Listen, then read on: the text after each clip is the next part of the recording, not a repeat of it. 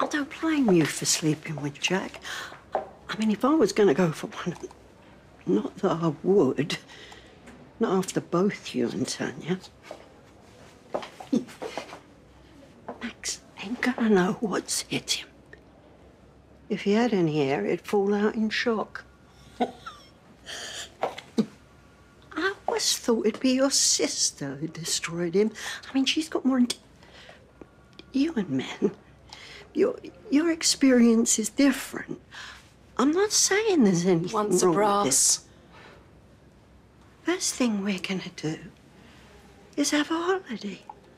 All of us. Now that Tanya's getting better. Oh, she's gonna be so thrilled. But she's not getting better, is she? Told you, darling. You haven't been to see her for months, have you? Quick little phone call.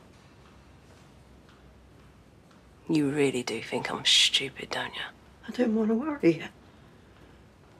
Little holiday. You and baby happy. And the mother that just tried to kill me with a frying pan. You know, it's. It's my headache.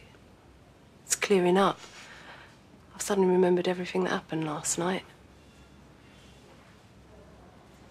You withdraw your application for Abi. Or I tell the police everything. And you think that'll make him take you back? We both know it's not you he wants.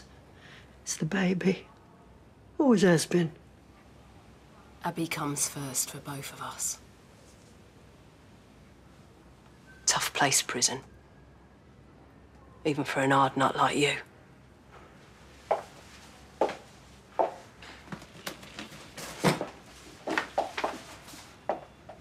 You're a monster.